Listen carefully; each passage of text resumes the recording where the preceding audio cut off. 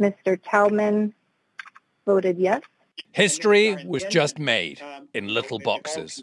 And that concludes the vote. So we do have a favorable vote.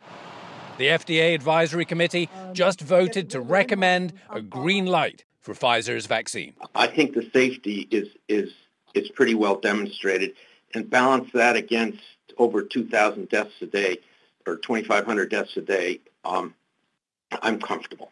Our plan is to take their recommendations into account for our decision making and make a decision shortly thereafter. Again, it really depends upon the complexity of the issues discussed, uh, but we intend to act quickly.